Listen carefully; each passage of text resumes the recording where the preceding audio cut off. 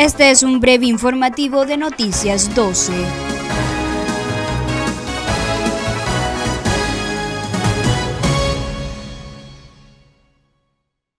Estados Unidos continúa siendo el país del que más se reciben remesas en Nicaragua, según el Banco Central de Nicaragua.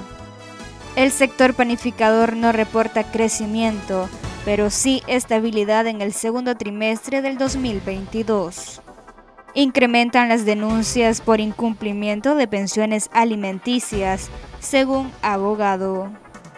Sector azucarero afirma que están encontrando nuevos mercados, por lo que este año esperan exportar alrededor de unas 500.000 toneladas.